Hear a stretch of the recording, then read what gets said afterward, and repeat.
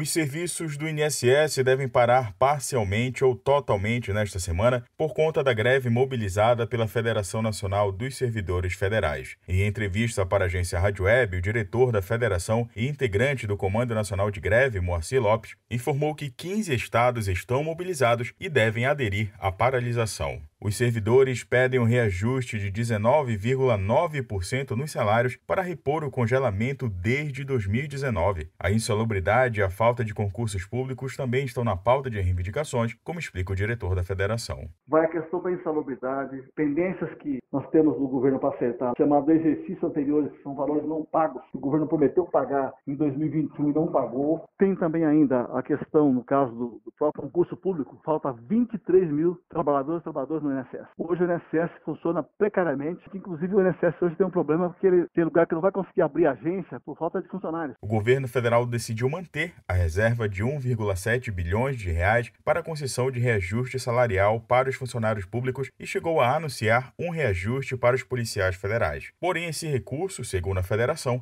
é insuficiente para reajustar o salário dos servidores. Por lei, o governo pode gastar até 5% do PIB com despesas de pessoal, mas gasta menos do que o permitido, como explica Moacir Lopes. Se o governo tem dinheiro para qualquer categoria, tem que ter para demais. Nós não aceitaremos discriminação. O governo podia gastar, pela Lei 101, até 5% do PIB com as despesas gerais de pessoal, correção de carreira, concurso. O governo estava gastando apenas 3,1 a folha de pagamento reduziu 19 bilhões anuais. No tempo passado, quando tinha folha, o servidor por ter progressões anuais, subia a folha. Agora está havendo regressão, processo inverso. A agência Rádio Web solicitou esclarecimentos ao INSS sobre os serviços que serão paralisados, mas até o fechamento desta reportagem não havia tido retorno. Agência Rádio Web, produção e reportagem, Igor Pereira.